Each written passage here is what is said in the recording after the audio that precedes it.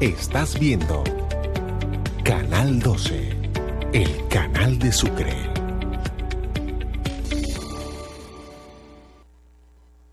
El siguiente programa es apto para toda la familia. Puede contener escenas de sexo y violencia moderadas. Se recomienda la compañía de un adulto responsable.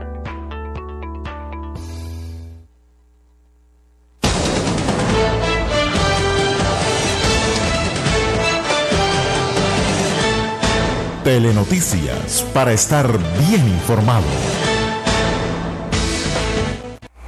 Hola, ¿qué tal? Buenas tardes, amables televidentes. Sean todos bienvenidos a la más completa información en Telenoticias Mediodía para que usted esté bien informado.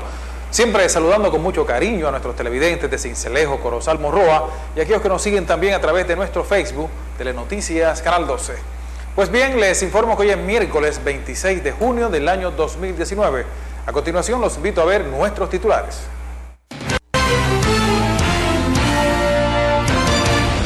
Se hizo justicia. Condenan a 40 años de prisión a Cruz Tobías Negrete por el homicidio de la niña Dana Cervantes, asesinada el pasado 2 de diciembre de 2017. Habitantes del barrio La Selva en Cincelejo envían un SOS a las autoridades. Denuncian delincuencia y consumo de droga en los parques. Alcalde de Cincelejo Jacobo Queset se pronuncia al respecto a las acusaciones que involucran irregularidades en el contrato de reconstrucción de la avenida Argelia. Jóvenes fueron capturados en la zona norte de Cincelejo mientras transportaban más de mil gramos de marihuana. En notas regionales, un fuerte accidente de tránsito se presentó en la vía que del Carmen de Bolívar conduce hacia el municipio de Zambrano. Y en nuestra sección Salud Natural, conozca sobre la urticaria y cómo prevenirla con el investigador científico Rodolfo Villamizar.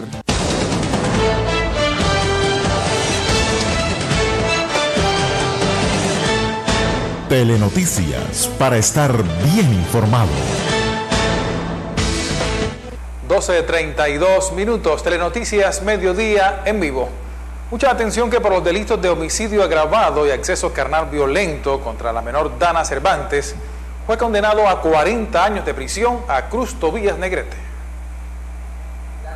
Ayer la juez penal segunda del circuito de Cincelejo condenó a 40 años de prisión a Cruz Tobías Negrete Padilla, encontrándolo responsable del homicidio y violación de la menor de 14 años, Dana Cervantes, quien desapareció el 2 de diciembre de 2017 y fue hallada muerta cuatro días después cuando él mismo confesó a las autoridades dónde estaba el cadáver, el cual hallaron avanzado estado de descomposición. Cabe recordar que Negrete buscó a Dana en el barrio Lafort, donde ella recibía clases de inglés. Se la llevó engañada con la excusa que iba a buscar unos gallos de pelea. Luego la violó y la mató en la vereda La Gulf de Cincelejo. La justicia colombiana es para que, para que aprueban la, condena perpetua, porque ya se han visto muchos casos de muchas niñas, no nomás aquí en Cincelejo, en el departamento de Sucre, sino en Colombia.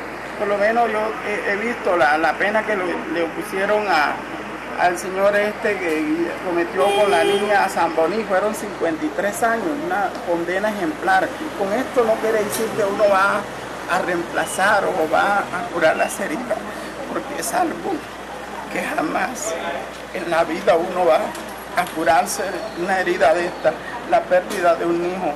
Pero una persona de esta, con todo lo que él le hizo a mi hija, es para que se pudre en la cárcel, para que salga el padre de él, el señor Santander, a reducir de que su hijo era inocente, para que este, él había criado a sus hijos con buenos modales. Entonces estos fueron los modales que él le dio a su hijo, para que ahora salga a decir de que su hijo era inocente. Entonces, gracias a Dios, yo siempre estuve confiando en la justicia colombiana y en Dios. La Fiscalía en su intervención solicitó 40 años y 4 meses de prisión, mientras que el representante de víctimas solicitó 53 y el Ministerio Público 50. Telenoticias para estar bien informado. En otras noticias del día, estuvimos en el barrio La Selva, aquí en Cincelejo. Allí sus habitantes lanzan un SOS a las autoridades por la ola delincuencial y presencia de consumidores de droga en los parques.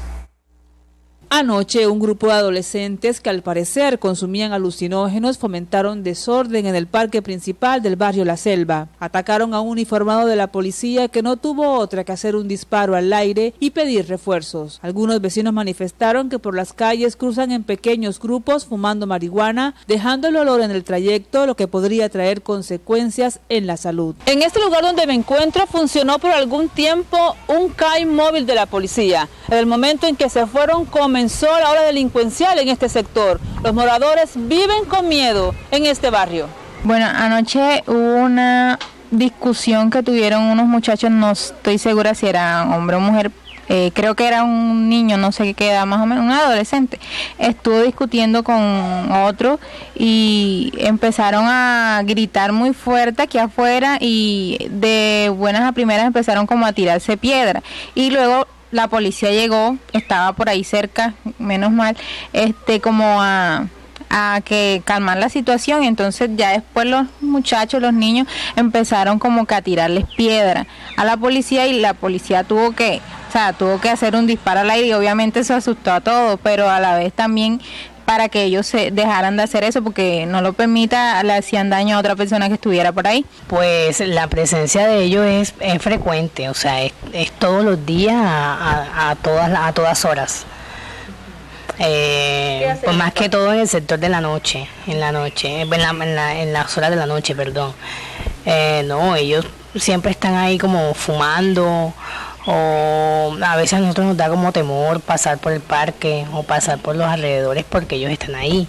Entonces siempre quedan como que mirando a uno raro y siempre da temor de que uno lo vayan como a atacar o atracar. Entonces, pues básicamente es eso, eso se viene presentando hace, hace tiempo, o sea, no, no, es, no es de ayer o no es de hoy, eso siempre ha sido y es que tenemos ese conflicto con esas personas de aquí del barrio de al lado porque siempre es, lo mismo. Debe haber más seguridad, ¿no? Al menos que los, que los chicos, los niños vuelvan a, jugar ahí, ¿no? Porque es puro malandro lo que llega. ¿Qué me dices de, de, las banquitas? Unas banquitas que hay ahí que es donde se sientan prácticamente a... Lo cogieron hasta como motel. En las noches ahí se ven las pareditas haciendo y deshaciendo. Bueno, yo considero que es muy preocupante que el parque, el único parque para que los niños salgan a esparcimiento y diversión se haya convertido en un centro de, pues, gente que no viene ni a divertirse ni a practicar deporte, sino a ahuyentar los niños y los jóvenes del barrio que realmente quieren distraerse. Eh, hace definitivamente hace mucha falta y sería muy urgente que volvieran a colocar el CAI, porque durante el tiempo que hubo el CAI de la policía ahí al lado de la iglesia, que una, una caseta de la policía, se notó bastante la tranquilidad en el barrio. Y definitivamente yo no tengo niños, afortunadamente ya mis hijos están adultos, pero sí hay mucho niño en el barrio que necesita un espacio libre de de malandro, de delincuentes para que para esparcirse. Eh, uno pasa en las horas de la noche muy temprano porque yo no salgo muy tarde y tú pasas y al, sentados ahí en el quicio de la iglesia, atrás de la iglesia, y en el parque, gente fumando. Los habitantes del barrio La Selva exigen la instalación del CAI de la policía y la implementación de jornada de prevención a las drogas en niños y jóvenes en la ciudad. Telenoticias para estar bien informado. Les recuerdo que nuestro WhatsApp es el 301-504-1735. Aquí estaremos prestos a cualquier información. Mucha atención que el concejal de Cincelejo, Luis Oreste Barachi, denunció ante la Fiscalía al alcalde de la ciudad, Jacobo Queset, por irregularidades en la firma del contrato de la reconstrucción de la avenida Argelia, aquí en Cincelejo. Por estos días de lo único que se habla en la capital sucreña es de un verdadero lío jurídico que involucra al alcalde de la ciudad Jacobo Quesep luego de que el concejal Luis Oreste Barachi lo denunciara ante la fiscalía por los delitos de contrato sin el lleno de los requisitos legales, concierto para delinquir, falsedad en documento público, prevaricato y peculado a favor de terceros. Lo anterior por un millonario contrato de la reconstrucción en la avenida Argelia de Cincelejo, por donde pasará el sistema estratégico de transporte público. Dichas obras debían ser ejecutadas por Metrosabanas y no por el Fondo Municipal de Valorización de Cincelejo. Así lo aseguró el cabildante. Que le da vida al ente gestor que ejecutará todos los recursos del sistema estratégico de transporte, dice explícitamente, se constituirá un ente gestor encargado de orientar, implementar y ejecutar las obras del sistema estratégico de transporte público de la ciudad de Cincelejo. El municipio de Cincelejo crea el ente gestor que se llama Metro Sabana, donde hay una bolsa común de aportes de la nación y aportes del municipio. Luego entonces, ese ente gestor es a donde deben ir todos los recursos por ser no solamente el competente por orden legal, sino que técnicamente está dotado de personal suficiente para ejecutar ese tipo de obras. No decimos que FOMBAS dentro de su responsabilidad misional no puede ejecutar obras civiles, de hecho esa, es su naturaleza, pero recordemos también que FOMBAS se financia del del impuesto de valorización municipal que no existe ahora mismo en el municipio de Cincelejo. Es una entidad que nos cuesta dos mil y pico millones de pesos al año, solamente tiene burocracia, cero pesos de inversión y el municipio eh, para legitimar esa burocracia le traslada recursos de otras fuentes que no son valorización para decir, no, el FOMBA sí está trabajando. Pero esos recursos tenían que ejecutar los Metros Sabana. ¿Por qué se los llevan para FOMBA? Y es la pregunta que todos nos hacemos. Porque Metro Sabanas tiene una junta directiva. Esa junta directiva son cinco miembros, de los cuales tres son del gobierno nacional. Para ellos poder ejecutar contratos superiores a 500 salarios mínimos, es necesario convocar junta, que la junta se reúna, discuta los puntos y le apruebe esa facultad al gerente. Por los tiempos que, que ya tenía el alcalde, se le estaba acercando primero los pliegos tipos y segundo la ley de garantías. No podían suscribir ningún tipo de convenios. Suscribe un convenio con el FOMBAS, donde él tiene autoridad sobre todos los miembros de la Junta con excepción de uno, que es el del sector privado. Lo más preocupante de esta situación es que, según Barachi, un acuerdo del FOMBAS fue falsificado con el fin de facultar al gerente para contratar hasta por alrededor de 24 mil millones de pesos. Es de recordar que esta no es la primera vez que el Fondo Municipal de Valorización está en el ojo del huracán por presunta falsedad en documento público, debido a que hace unos años salió a la luz pública las famosas Dianas, donde miembros de esa entidad cobraban millonarias sumas de dinero cambiando el nombre de Por Diana. Yo tengo el acta, ustedes eh, notarán que solamente se aprobó el presupuesto, las facultades para ejecutar el presupuesto, facultades para suscribir acuerdos para el pago obligaciones con la alcaldía, para suscribir convenios interadministrativos, pero estaban limitados a las facultades del presupuesto y facultades para vender o enajenar. Entonces, aquí lo que nosotros queremos denunciar es que el acuerdo 06, que es este, este esta es la petición que me entrega Fombas a mí. El acuerdo 06, que es este, tiene la misma hoja de firmas del acuerdo 05. Si notas aquí, la firma del alcalde pasa por el número 27, que es la fecha. Este es el acuerdo 05 y este es el acuerdo 06. Y notarás que por mucho que sea tu firma, uno nunca la hace igual. De hecho, a mí me han devuelto cheques de banco la denuncia fue instaurada en la Fiscalía aquí en Sucre y aunque confía en que se lleva a cabo las investigaciones correspondientes, teme que esta denuncia sea archivada en alguno de los escritorios de esa entidad. A nosotros nos, nos extraña mucho que la denuncia haya caído en el fiscal 22.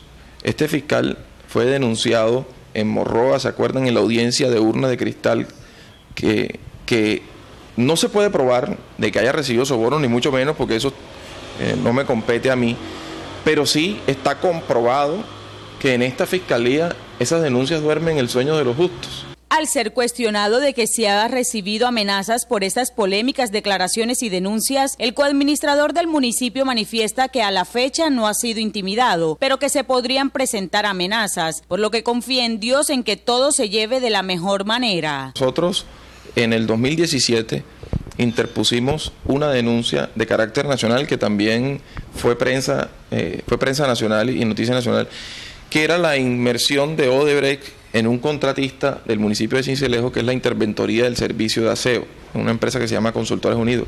En ese momento, después de esa denuncia, más o menos a los 15 días recibimos amenazas y la UNP implementó un esquema de protección. A mí no me extrañaría, bajo ninguna circunstancia, que una persona que es capaz de robarse, eh, de falsificar documentos para intentar manipular recursos del Estado, también vaya a, producir amenazas. Pero en las redes sociales sí hemos recibido muchos insultos y, agraviantes. Eh, lo que nos preocupa a nosotros, que si controlan la prensa local, pues ¿por qué no van a poder controlar a unos bandidos que intenten hacerme algún daño? Pero hasta el momento no he recibido ningún tipo de amenaza y esperamos que, con el favor de Dios no, no suceda nada. Asegura que esta denuncia no se trata de una disputa política, porque las pruebas existen. Telenoticias para estar bien informado. Ante esta grave denuncia, quisimos hablar con el alcalde de Cincelejo, Jacobo Queset, al respecto. Veamos. Hemos conocido la denuncia por diferentes medios de comunicación algunas publicaciones en redes sociales, hemos leído el texto y no encontramos ninguna clase de irregularidad. Creo que es eh, un show mediático, quieren atentar contra nuestro buen nombre y eh, no creeríamos que esto tuviera que eh, llegar a una conclusión de tener inspiraciones políticas. Pero estamos abiertos para que cualquier órgano de control pueda asistir a la alcaldía de Cincelejo y que revise todos los documentos. Además son públicos, están en el SECOP, los pueden ver desde Leticia hasta eh, La Guajira. Todos los colombianos, cualquier órgano de control puede revisarlo en cualquier momento porque están totalmente eh, públicos. Que hemos evidenciado en la, en la denuncia que creemos que es eh, fruto de el desconocimiento de lo público y lo que es el sistema estratégico de transporte. Metro Sabana es la entidad gestora eh, y promotora del sistema. Metro Sabana tiene un, eh, unos recursos determinados eh, del Ministerio, del Gobierno Nacional y del municipio, los cuales ya se encuentran ejecutados desde el año 2010 hasta la fecha. Y hay muchas rutas que no van a ser poder, no van a poder ser intervenidas porque los recursos son finitos, los recursos no son eh, suficientes. Por eso el municipio debe conseguir recursos adicionales, recursos de esfuerzos propios, como en el caso de Argelia, y seguir invirtiendo en la ruta del sistema. Es decir, que estos recursos no son del sistema estratégico, estos recursos son recursos propios del municipio que respaldan un crédito con todas las facultades establecidas en la ley para invertirlas en las rutas que Metro Sabana no va a alcanzar a invertir. Por lo tanto, la primera eh, corrección que se le hace al denunciante es que estos recursos no son del sistema. Segundo, ¿por qué esos recursos los invierte eh, FOMBAS? Eso es una decisión eh, que se toma obedeciendo a la naturaleza jurídica de la entidad, la idoneidad de la entidad. La entidad está constituida, creada para realizar actividades de infraestructura en el municipio de Cincelejo y que hay funcionarios con toda la capacidad en ese instituto, con todo el conocimiento y la idoneidad para hacer las supervisiones eh, de esas obras. Por lo tanto, se faculta al gerente para que el gerente suscriba el convenio con el municipio y pueda hacer la licitación pública con toda la transparencia, ajustado a la ley 80, se hizo la adjudicación eh, del contrato frente a otra acusación que hace el denunciante que eh, definitivamente deja muy claro la falta de conocimiento en esta materia de que el, el presupuesto de la entidad FOMBA es de 2 mil millones y está ejecutando un proyecto de 20 mil millones y lo puede hacer sin ningún problema y todas las entidades de Colombia lo hacen, inclusive el mismo municipio de Cincelejo. Tomamos proyectos adicionales a nuestros presupuestos, los incorporamos y los ejecutamos, como el caso, por ejemplo, de eh, la estación de policía, como el caso del Polideportivo Libertad. Son recursos que vienen de otras entidades, lo adicionamos al presupuesto porque el presupuesto no es una limitante en la ejecución. Así que hay un gran desconocimiento, por eso eh, no queremos creer, pero eh, entendemos que esto tiene un, móvil más mediático, más de show, quieren enlodar el trabajo que estamos haciendo por los cincelejanos, pero nosotros no vamos a caer en ese conflicto de algunos actores políticos que eh, les gusta más la pelea que trabajar por Cincelejo. Les gusta más difamar que luchar por el desarrollo de su tierra. Nosotros seguimos trabajando, luchando por nuestra tierra, haciendo obras, invirtiendo en lo que verdaderamente la gente se le dio a invertir hacía mucho tiempo. Y no vamos a frenarnos porque tenemos la convicción que estamos haciendo las cosas bien. El FONBAS tiene un presupuesto de 2 mil millones de pesos y puede ejecutar proyectos que se le adicionen a su presupuesto por 20 mil o por 30 mil o por 40 mil millones de pesos más porque tiene las condiciones y la capacidad técnica para hacer la ejecución de esta obra.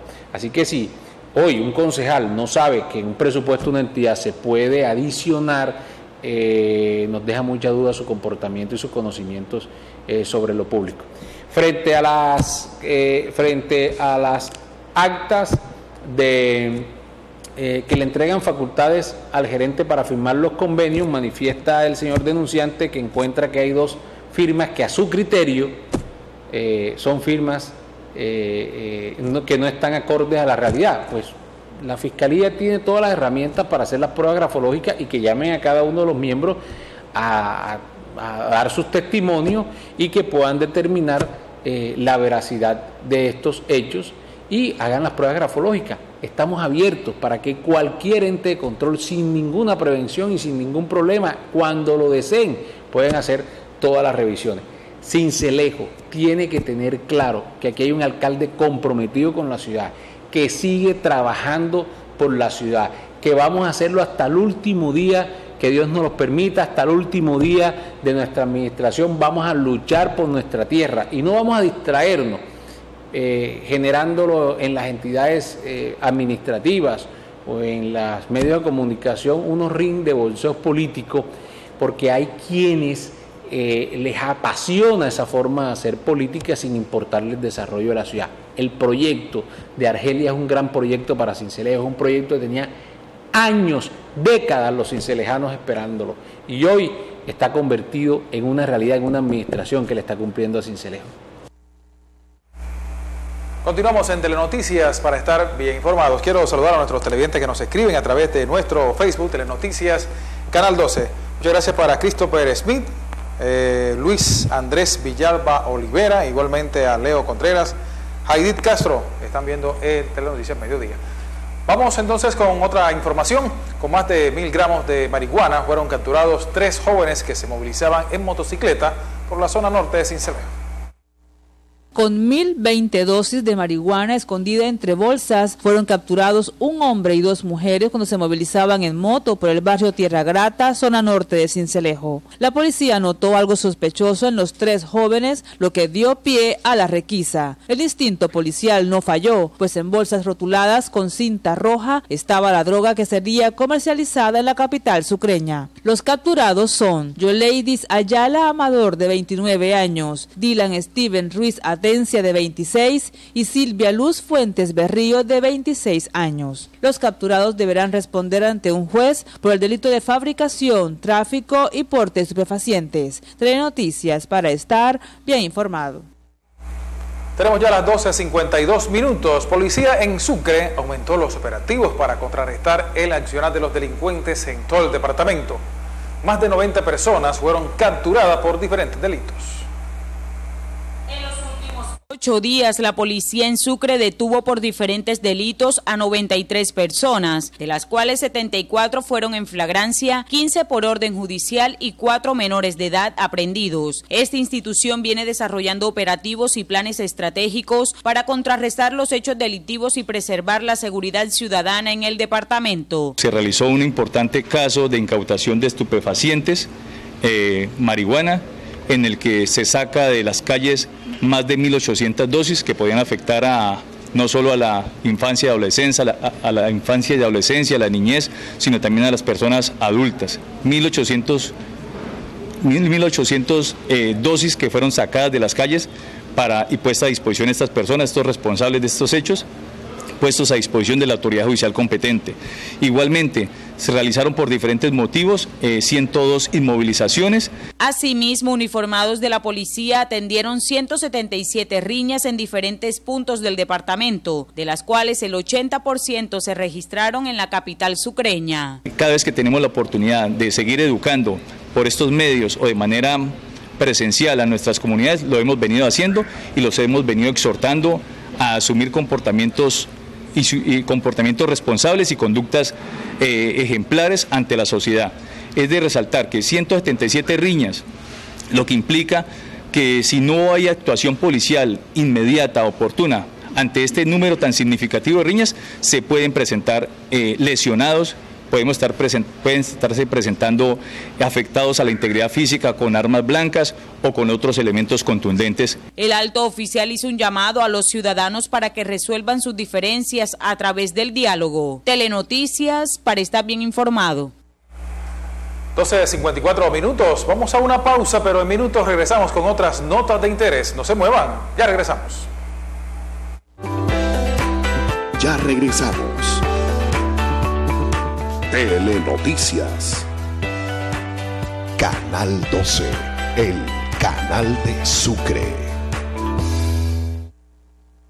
No es uno, ni serán dos, serán tres. Los premios que puedes ganar con Supergiros. La tripleta de tus sueños te da lo que necesitas para tu hogar. Participar es muy fácil y ganar mucho más. Llévate un juego de alcoba, sala y comedor, una nevera surtida de alimentos o un bono de 500 mil pesos adquiriendo productos Supergiros, válido en puntos Supergiros del Departamento de Sucre. Autoriza en Coazar. En el Hospital Universitario de Cincelejo sabemos que es urgencia, por eso lo atendemos inmediatamente. Para su atención tenemos servicios modernos de tomografía, rayos X, ecografías, maternidad, unidad materno-infantil, medicina interna, banco de sangre, UCI para adultos. Trasladamos pacientes en ambulancias medicalizadas. Hospital Universitario de Cincelejo, un hospital de brazos abiertos. Un padre es el primer héroe de un hijo y el primer amor de una hija. Comprensible, valiente y fuerte, el más divertido, mi héroe favorito, incansable, contando historias y cuentos. Siempre te amaré. Feliz día, papá.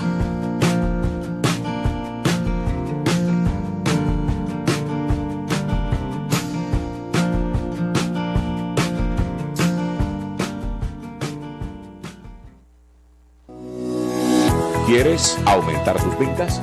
¿Dar a conocer tu empresa? ¿Posicionarte en el mercado? Te tengo la solución. Publicita tu empresa aquí, en Canal 12, el canal de Sucre, y te aseguramos que lograrás esos objetivos. Serás visto y reconocido, porque somos el medio con mayor impacto en el departamento, el canal con más suscriptores y mejor contenido líderes en audiencia, aliados a Claro Televisión, operador líder en telecomunicaciones en América Latina.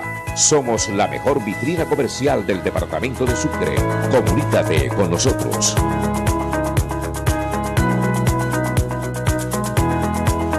Canal 12, el canal de Sucre.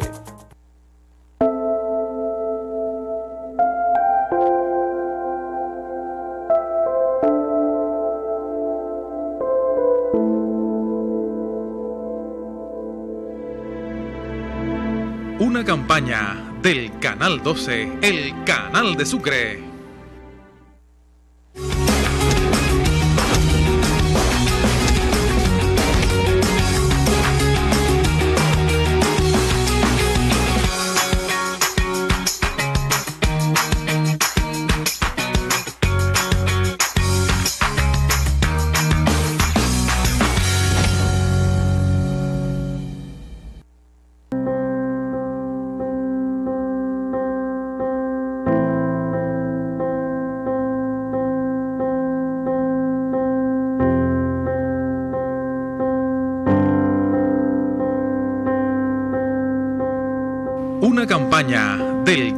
12, el canal de Sucre.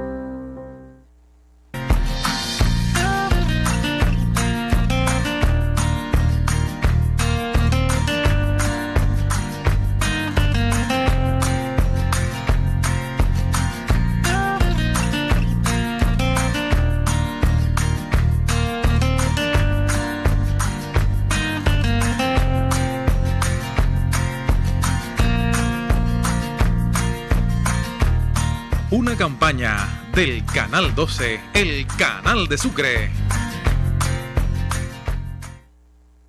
Canal 12, aliado a Claro Televisión. Sintonízanos en la señal digital Canal 104 y en la señal análoga Canal 6. Somos el canal de Sucre con más de 20 años de servicio. Nuestros programas están producidos con los altos estándares de calidad. Visita nuestras redes sociales, Facebook, YouTube, Instagram, Twitter. Estamos ubicados en el sector centro de la ciudad, calle 23, número 1636, segundo piso. Contáctanos al 301 504-1735 o al 276-5573. Canal 12, el canal de Sucre.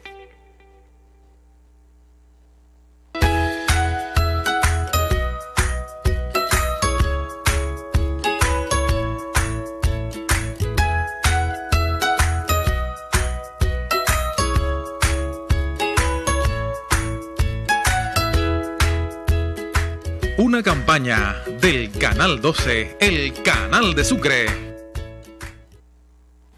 Un padre es el primer héroe de un hijo y el primer amor de una hija. Comprensible, valiente y fuerte, el más divertido, mi héroe favorito, incansable, contando historias y cuentos. Siempre te amaré. Feliz día, papá.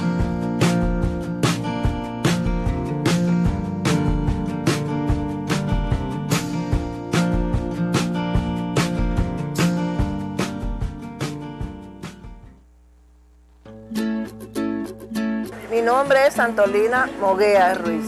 Tengo 23 años de estar trabajando aquí en el Parque Olaya Herrera. Nos gusta lo que te gusta. Canal 12, el canal de Sucre.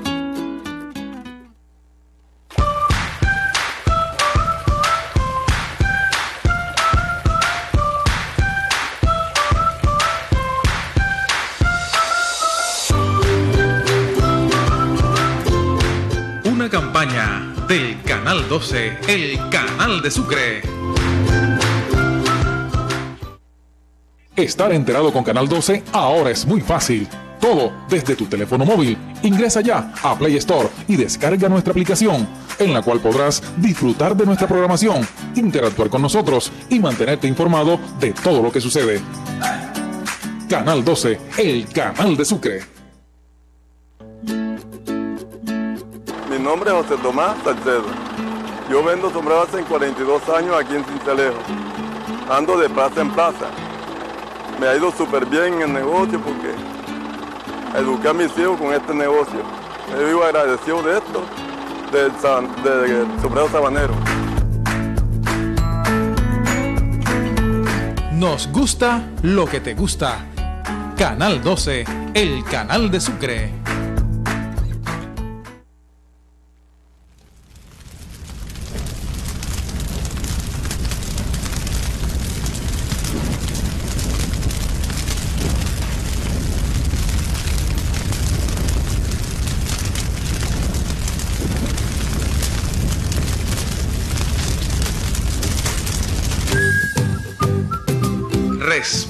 Vida.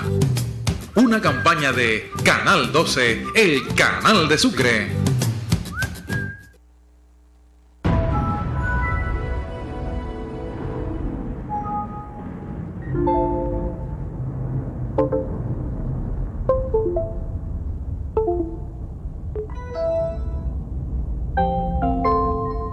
Una campaña del Canal 12, el canal de Sucre. Nombre es Jonairo Clemente y ya hace tres años vendo café aquí en Cincelejo. Nos gusta lo que te gusta. Canal 12, el canal de Sucre. Un padre es el primer héroe de un hijo y el primer amor de una hija. Comprensible, valiente y fuerte, el más divertido, mi héroe favorito, incansable, contando historias y cuentos. Siempre te amaré. Feliz día, papá.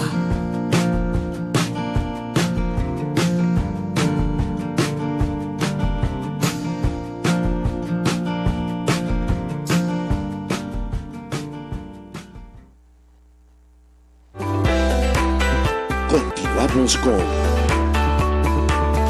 Telenoticias. Canal 12, el canal de Sucre. Seguimos con la más completa información en Telenoticias Mediodía para que usted esté bien informado. Mucha atención que la alcaldía de Cincelejo, junto a la Agencia Nacional de Seguridad Vial, realizó una importante reunión de evaluación que busca mejorar la seguridad vial en la capital sucreña. La Agencia Nacional de Seguridad Vial, Colombia Líder y Seguros Bolívar lideraron el primer diálogo regional de seguridad vial en el marco del reconocimiento a los mejores gobernantes en seguridad, evento con el objetivo de evaluar la gestión de los gobernantes en los últimos cuatro años y mirar cuál ha sido el resultado en la siniestralidad vial. Karen Labrador Araujo, directora ejecutiva de Colombia Líder, y Sandra Burgos, director ejecutivo de Observatorio de Agencia Nacional de Seguridad Vial, orientaron este oficio que se desarrolla en otras seis regiones del país. Los agentes de tránsito de la Secretaría de Tránsito y Transporte, técnicos de seguridad vial, agentes de policía de tránsito y funcionarios de diferentes administraciones y entes territoriales asistieron a este conversatorio donde identificaron las falencias que presentan en la movilidad de sus territorios y también los adelantos en las campañas que han avanzado en cultura ciudadana y comportamiento humano. El secretario de Tránsito y Transporte, Tulio Pinilla, resaltó las diferentes acciones que ejecutan este año, siguiendo con el contexto del nuevo programa de ciudades sostenibles y amigables con el medio ambiente. También resaltó que Sucre tiene un problema grave en siniestralidad en motocicletas. Actualmente presentan un 75% de muertos en accidentes. Telenoticias para estar bien informado. Avanza el tiempo, una de la tarde, cinco minutos, y nosotros seguimos con las noticias. Un trágico accidente de tránsito se registró ayer en la mañana en el municipio de Tolú. Un bus que cubría la ruta Montería-Cartagena se volcó y 30 personas resultaron heridas. Gritos de auxilio, lágrimas y personas heridas tendidas en la mitad de la carretera en el municipio de Tolú fue lo que se vivió a las 7 y 30 de la mañana de hoy en el kilómetro 2 de esa localidad, luego de que el conductor de este bus se volcara al parecer por movilizarse en exceso de velocidad. Tenemos que es el exceso de velocidad, donde el conductor pues obviamente excede de la, la velocidad y pues en el momento que perdió el control del vehículo, eh, maniobra o hace una maniobra peligrosa y pues ahí es donde sufre el volcamiento lateral izquierdo del vehículo y pues salen las los pasajeros lesionados. ¿El mal estado de la vía pudo incidir en este accidente? Eh, también se dice que pues el mal estado, pues aunque eh, se va a rectificar eso, ya eso ingresa a materia de investigación con fiscalía y también de igual manera pues hay una posible hipótesis manifestada por el conductor donde obviamente tiene una falla mecánica que eso ya también entra en, materia de investigación de los peritos de, de Fiscalía y Policía Nacional para detectar si también hubo falla mecánica.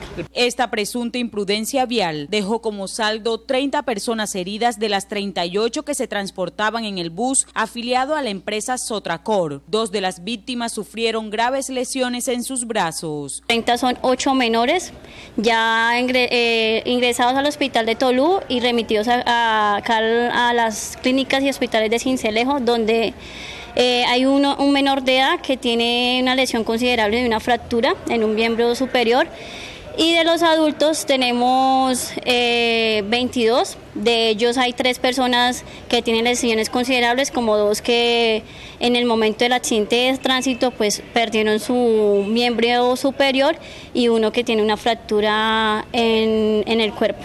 20 de los heridos permanecen en la clínica María Reina, dos en el Hospital Universitario de Cincelejo y ocho en el Centro de Salud del municipio de Tolú. Se conoció que se hizo necesaria la presencia de ocho ambulancias para auxiliar a los heridos. El bus cubría la ruta Montería-Cartagena. Precisamente la mayoría de los heridos son naturales de Córdoba. Se conoció que personas inescrupulosas, en lugar de ayudar a las víctimas de este hecho que afortunadamente no dejó personas muertas, se hurtaron las pertenencias de los lesionados. Telenoticias para estar bien informado.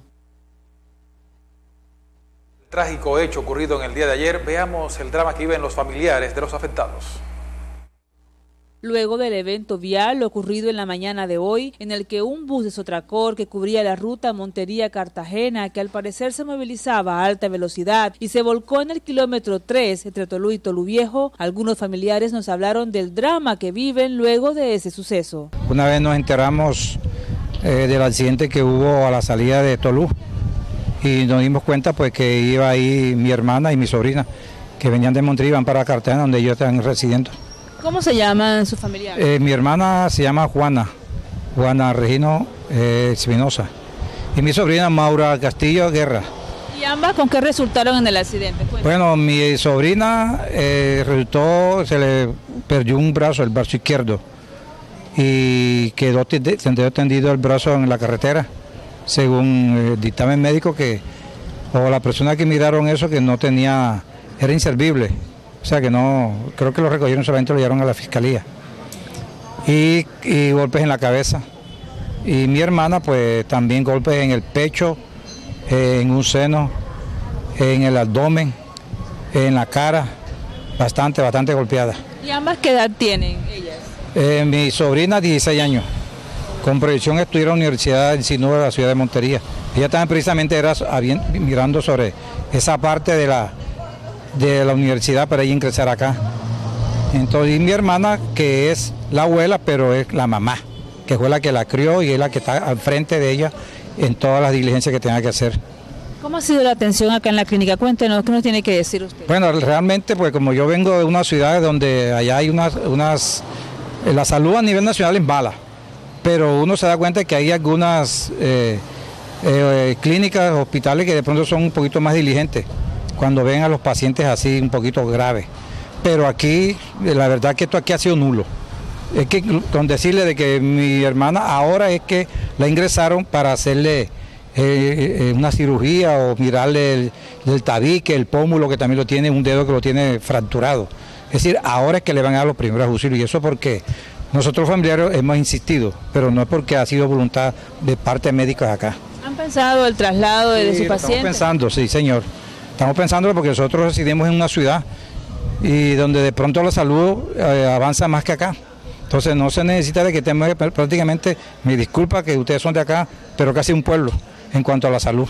A la clínica María Reina ingresaron los siguientes heridos. Lisette Peñata Dávila de 22 años con traumas en el hombro izquierdo. Indira Peñata Dávila de 19 años con trauma lumbar. Miguel Contreras López de 20 con trauma cerrado de tórax. Virginia Paredes García de 28 años con trauma cerrado de tórax. Valentina Hurtado de 12 años con trauma craneofacial, trauma en miembro superior derecho. Girlet Pájaro Medrano de 6 años con trauma en miembro superior e inferiores bilaterales. Danilo Ramírez, de 7 años, con trauma cerrado de abdomen. Álvaro Elías Pájaro Castro, de 30 años, con trauma en miembros superiores bilaterales. Cristian Ronaldo Periñán Herrera, de 2 años, con trauma en miembros superiores e inferiores bilaterales. Diana Carolina Herrera Castro, de 23 años, con trauma facial, trauma en miembros superiores bilaterales y trauma en cadera izquierda. Entre tanto, al Hospital Universitario de Cincelejo ingresaron los heridos Marla Elena Morales y Federman José Pérez, ambos con golpes. Según la teniente Juanita Padilla, comandante encargada de la seccional de tránsito y transporte en Sucre, en el número de lesionados asciende a 30, entre ellos 8 menores de edad, 4 con heridas graves, incluida una niña. Telenoticias para estar bien informado. Una 12 minutos, ahora el científico Rodolfo Villamizar en nuestra sección Salud Natural. El día de hoy vamos a hablar acerca de la urticaria. Esta es una erupción cutánea que causa picazón, ronchas, cicatrices o sarpullidos y a veces es provocada por un alérgeno. Y un alérgeno es algo que produce una reacción alérgica del sistema inmunológico. Cuando se produce una reacción alérgica, el cuerpo libera una proteína llamada histamina y cuando se libera la histamina, esos diminutos vasos sanguíneos conocidos como vasos capilares pierden líquido y el líquido se acumula en la piel causando ronchas y erupciones. Veamos algunas desencadenantes de una reacción alérgica. Entre ellos algunos antibióticos y medicamentos antiinflamatorios no esteroideos, algunos medicamentos para la presión arterial alta, productos de trigo e infecciones bacterianas que incluyen infecciones del tracto urinario, parásitos intestinales, temperaturas extremas, caspa de mascotas como los perros, los gatos, los caballos, ácaros, el látex, el polen, algunas plantas venenosas y picaduras de insectos, algunos químicos y enfermedades de la tiroides y el lupus. La urticaria crónica puede provocar molestias, angustias y posiblemente depresión, la cual puede causar estrés creando un círculo vicioso porque el estrés también causa urticaria. Este estrés hace que el sistema inmunológico se hiperactive, se confunda y ataque al cuerpo. Las ronchas usualmente ocurren en la cara o en las extremidades, incluyendo los brazos, las manos, los dedos, las piernas, los pies y los genitales. Los pacientes deben identificar y evitar los desencadenantes como abstenerse de consumir alcohol, evitar ciertos medicamentos, evitar el estrés con técnicas de relajación, usar jabones, cremas y detergentes que sean suaves, evitar ciertos alimentos como las nueces, los mariscos, aditivos y preservativos, los huevos, las espinacas, el pescado, el yogur, el tomate enlatado, las carnes, el chocolate y las fresas. Y los consejos para reducir la irritación causada por la urticaria incluyen usar ropa suelta y liviana, evitar rascarse, usar jabón de avena, usar agua fría o compresas frías y tomar un baño de avena con agua tibia. Pero también suplementar con cuercetina, el aceite de ricino es muy bueno, compresas de piña, vinagre de sidra de manzana el bicarbonato de sodio, jengibre, el omega 3, la sábila, la vitamina C, la vitamina D3 y no olvide evitar los alimentos que contengan gluten. Una a 15 minutos, información interesante del médico científico Rodolfo Villamizar. Vamos a una pausa, pero en minutos regresamos con notas deportivas en Telenoticias Mediodía. Ya regresamos. Telenoticias. Canal 12, el canal de Sucre. No es uno, ni serán dos, serán tres. Los premios que puedes ganar con Supergiros. La tripleta de tus sueños te da lo que necesitas para tu hogar. Participar es muy fácil y ganar mucho más. Llévate un juego de alcoba, sala y comedor, una nevera surtida de alimentos o un bono de 500 mil pesos adquiriendo productos Supergiros, válido en puntos Supergiros del Departamento de Sucre. Autoriza en Coazar. En el Hospital Universitario de Cincelejo sabemos que es urgencia, por eso lo atendemos inmediatamente. Para su atención tenemos servicios modernos de tomografía, rayos X, ecografías, maternidad, unidad materno-infantil, medicina interna, banco de sangre, UCI para adultos. Trasladamos pacientes en ambulancias medicalizadas. Hospital Universitario de Cincelejo, un hospital de brazos abiertos. Un padre es el primer héroe de un hijo y el primer amor de una hija. Comprensible, valiente y fuerte, el más divertido, mi héroe favorito, incansable, contando historias y cuentos. Siempre te amaré. Feliz día,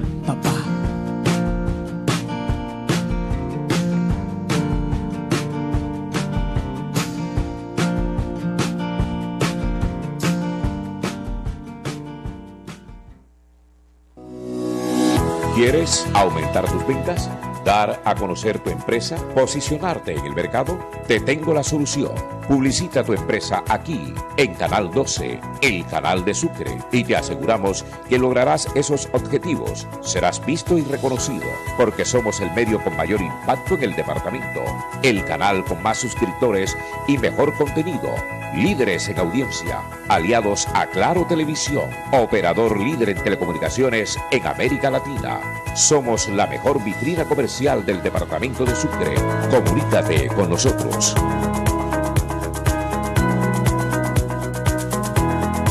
Canal 12, el canal de Sucre.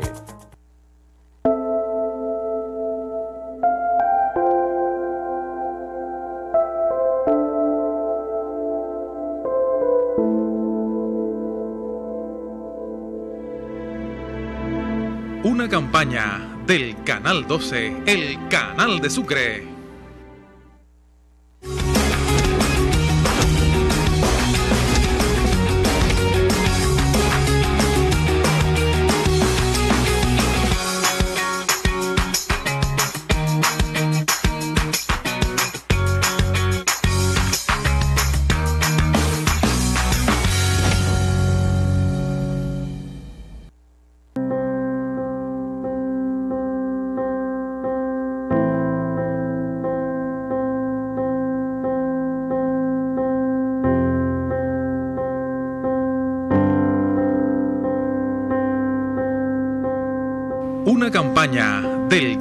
12, el canal de Sucre.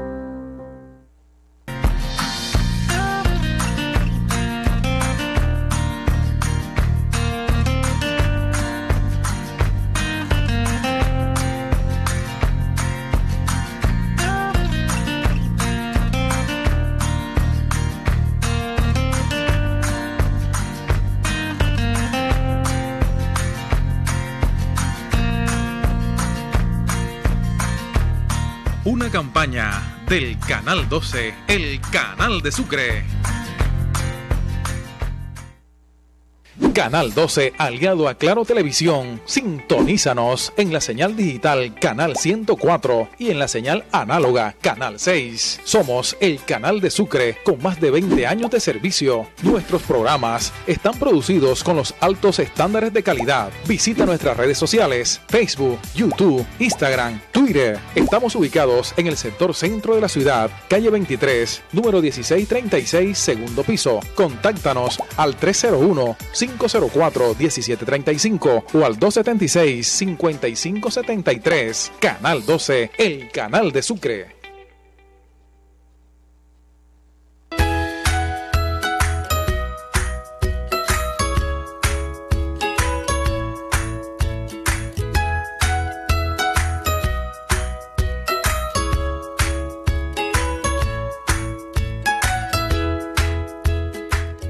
Campaña del Canal 12, el canal de Sucre.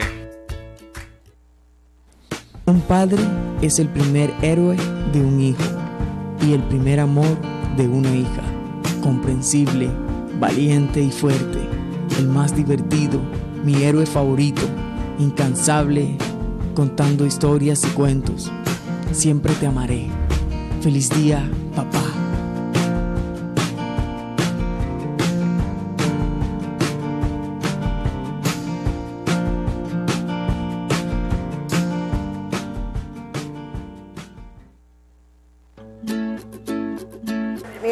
Santolina Moguea Ruiz. Tengo 23 años de estar trabajando aquí en el Parque Herrera. Nos gusta lo que te gusta. Canal 12, el canal de Sucre.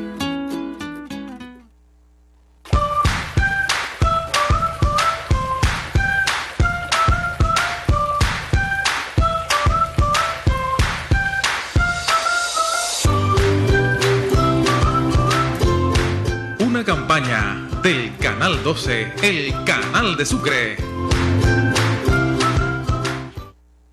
Estar enterado con Canal 12 ahora es muy fácil.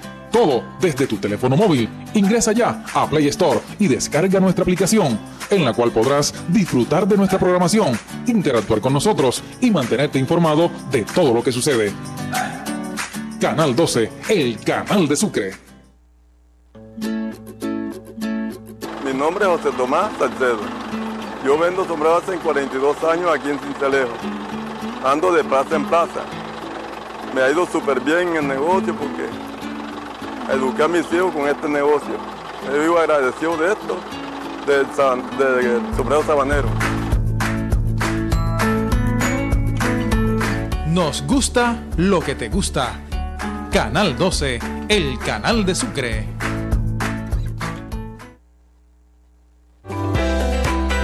Continuamos con Telenoticias. Canal 12, el canal de Sucre.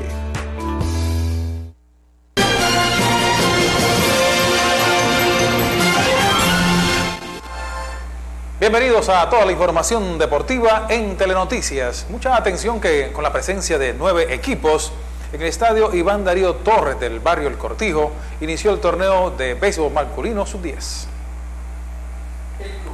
y como organizador del evento debido al embargo de la Liga de Béisbol Sucre, llevó a cabo una gran inauguración con buenos números que quedaron en la retina del público. Con la presencia de los máximos dirigentes del departamento de Sucre, se realizaron los actos de apertura con las nueve delegaciones dentro del terreno del Estadio de Ligas Menores Iván Darío Torres Abad, en la frontera de los barrios Gaitán y Cortijo. Un grupo juvenil de baile, superhéroes infantiles y la banda departamental hicieron las delicias del público que llenaron las graderías del escenario antes mencionado. Sí, se está inaugurando el trigésimo Festival Nacional eh, de Béisbol categoría sub-10. Bueno, ¿cuántos equipos al fin vinieron? Con Sucre tenemos nueve delegaciones, vienen ocho de afuera y, Sucre. ¿El sistema del torneo De todo contra todo, no hay series de cuadrangulares, ni semifinal ni final, porque dentro del cronograma eh, no da el calendario para hacer los cuadrangulares. Eh, ¿Escenario que se va a jugar? Bueno, tenemos eh, aquí el Cortijo, el Iván Darío, eh, tenemos a partir del día martes dos juegos allá en, el Eduardo Porras y para el día miércoles se tiene una, una, programación completa en San Onofre. El torneo se extenderá hasta el próximo 30 de junio, cuando se conozca el campeón del certamen deportivo. Telenoticias para estar bien informado. En otras notas deportivas, en el Polideportivo del barrio Las Delicias fueron inauguradas las Olimpiadas Deportivas. Más de 900 niños de diferentes municipios del departamento de Sucre participaron de la inauguración de las Olimpiadas Deportivas que dieron como apertura en el barrio Las Delicias. El evento inició con un desfile por las principales calles de la ciudad hasta el escenario antes mencionado. Esta justa tendrá en escenarios de las disciplinas de béisbol, microfútbol, ajedrez y patinaje. El evento cuenta con el respaldo de la Fundación Compasión, que buscan estos espacios para que los jóvenes deportistas muestren sus habilidades y destrezas en las competencias. Ha sido un espectáculo, el personal ha respondido, todos los niños, los padres, las iglesias y las expectativas están bien chévere, altas. Gracias. todo está garantizado para que esta justa deportiva sea un éxito total. Todo está fríamente calculado y organizado. Creemos en el Señor que estos tres días de deporte serán magníficos y marcarán huellas en la vida de cada uno de los infantes, de nuestros niños, la generación pujante. La presencia extranjera es la novedad de estas Olimpiadas que llaman la atención a propios y visitantes. Thank you. We're so happy to be here and so blessed. Estamos tan contentos de estar aquí hoy. Bueno, ¿cuál es la expectativa de, esto, de este evento deportivo? What do you expect to get out of this sports event today? I think it's just amazing to have everybody gathered here celebrating Christ and what he's done. Ah, tener a todo el mundo junto aquí celebrando a Cristo y lo que él ha hecho en la vida de ellos. Bueno, ¿y qué esperan a través de este deporte? ¿Qué esperan a través de este evento deportivo?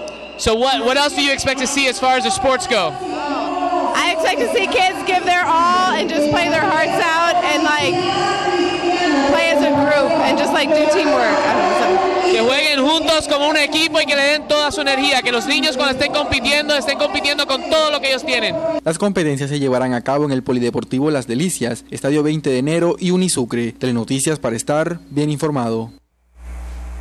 Una 26 minutos, seguimos reportando sintonía con nuestros televidentes. Luis Andrés Villalba Olivera, muchas gracias también a David Domínguez, a Jaidit Castro, Fabio José Cerro Lara y a Luis Zabaleta. Gracias por estar siempre en contacto con nosotros. En otras notas deportivas, por el torneo sub-20 de fútbol, el BJ Cincelejo se impuso con una goleada 5 goles por 0 ante la escuela de Adolfo Telles de Magangué. BJ ganó, gustó y goleó 5 goles por 0 al club Adolfo Telles de Magangué por la tercera fecha en la segunda vuelta de la Supercopa Juvenil B de Fútbol por el Grupo N. Anotaciones de los Eneises de Kevin Mercado al minuto 44 y 77, José Fuentes en el 63, Adrián Garcés en el minuto 68 y Jorge Peñate de tiro penal a los 80. Con este resultado, los dirigidos por Julio Valero llegarán a 14 puntos y se ponen a un punto del pase a la segunda ronda. Faltando un encuentro de esta jornada, los dos equipos mariscales, Once Sucre ya clasificado tiene 17 puntos y Boca Juniors BJ llega a 14. Le Adolfo Telles con 8 y Real Sociedad de Magangué con 8 puntos. Entre tanto, el Once Sucre dividió honores a cero tantos en la cancha del Centro Recreacional Los Campanos ante Bolívar Fútbol Club. Telenoticias para estar bien informado. El conjunto Aro Somos Hyundai se coronó campeón del torneo recreativo de fútbol que se disputó en la cancha del barrio El Bosque. El equipo Aro Somos Hyundai se coronó campeón al vencer a Goes Sport en el torneo de fútbol recreativo que se celebró en la cancha del barrio El Bosque. El juego culminó en cero tantos en los 90 minutos reglamentarios y se decidió desde los 12 pasos con el conjunto campeón venció en instancia de 6 goles por 5 a Goes Sport. Aro Somos disfrutó del trofeo, más de 3 millones de pesos que lo acreditan como campeón del certamen. La tercera posición fue para Viejo que derrotó por esta misma vía al artesano conformó el cuarto lugar. El goleador fue Francisco Mar de artesanos con 28 goles y la valla menos vencida fue para el representativo de la Farmacia Real. Al final el balance es positivo, luego de que se cumplieran las expectativas por parte del organizador del certamen encabezado por Edwin Guerra Villamizar. Telenoticias para estar bien informado. La novena de las brisas obtuvo el título del torneo de softball interbarrios que finalizó en el municipio de Corozal. El equipo del barrio Las Brisas se coronó campeón del torneo interbarrio de softball del municipio de Corozal tras ganar dos juegos seguidos de la serie pactada a tres partidos al equipo del barrio San Francisco de Corozal, quien era favorito. La final del campeonato interbarrios se llevó a cabo en el Estadio Municipal de Softball Maestro Chafo Turizo de Corozal. El primer partido lo ganó Las Brisas a San Francisco con 21 carreras a 19 y luego volvió a ganar el segundo juego 14 carreras a 7 por nocaut en el quinto episodio. El equipo de Dulce Nombre obtuvo tercer puesto el equipo de Ospina Pérez de Corozal ocupó el cuarto lugar del campeonato. Telenoticias para estar bien informado. Bien, concluye aquí una emisión más de Telenoticias Mediodía para que usted esté bien informado. Los esperamos a las 6 y 30 en nuestra emisión central Telenoticias. Televidentes, que pasen una feliz tarde.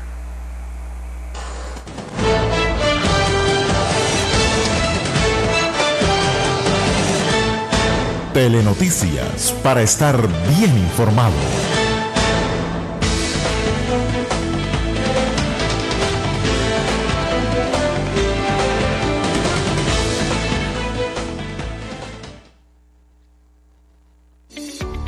Estás viendo Canal 12, el canal de Sucre.